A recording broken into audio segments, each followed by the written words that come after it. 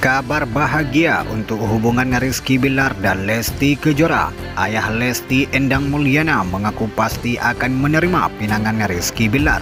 Begitu pula dengan kakak tertua Lesti, Benny Mulyana.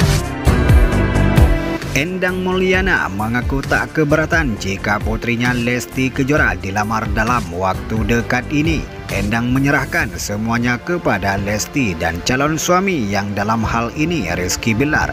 Kalau saya sih, dia mau ngelamar besok, mau ngelamar sekarang ya serahkan saja. Kan tergantung kesiapan dua pihak, kata Endang Mulyana. Tak mau mengekang, Endang mengaku akan mendukung setiap keputusan yang diambil Lesti Kejora. Jika Lesti dan Rizky Bilar sudah siap menikah, maka tak perlu lagi menunggu hingga tahun depan.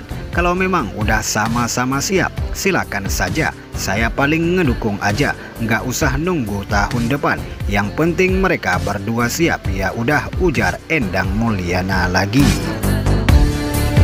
Lebih lanjut, Endang Mulyana juga bercerita soal sosok calon menantu. Sejak dulu diakui Endang, dirinya tidak pernah punya kriteria khusus mengenai pria yang akan jadi suami anaknya tersebut. Yang terpenting, pria tersebut bisa membawa Lesti menjadi sosok yang lebih baik dari sekarang. Udah sering saya katakan, saya nggak ada target menantu idaman yang nomor satu bisa membimbing anak saya dari nggak baik jadi baik, dari nggak bisa agama jadi bisa agama gitu aja kalau saya tegas Endang Mulyana.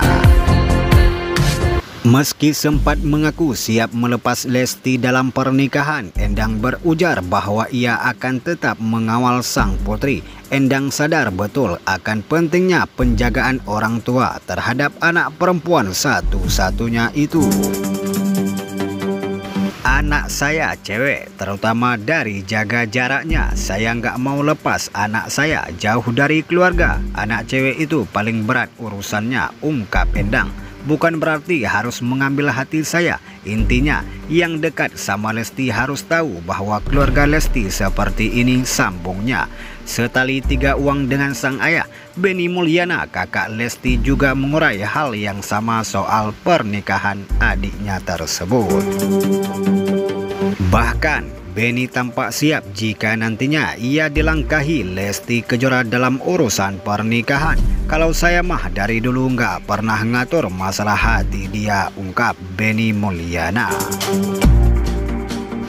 Tak hanya rela, Benny Mulyana bahkan senang jika Lesti menikah duluan sebab Benny merasa tak perlu lagi mengkhawatirkan Lesti jika sang adik sudah menikah dan punya suami. Hal itu seolah disampaikan Benny Mulyana sebagai kode untuk calon Lesti Rizky Bilar. Kalau laki-laki itu mah bebas, jadi nggak ada patokan santai aja, ujar Benny Mulyana. Begitulah informasinya. Jika ada kesalahan kami minta maaf. Kami akhiri Assalamualaikum warahmatullahi wabarakatuh.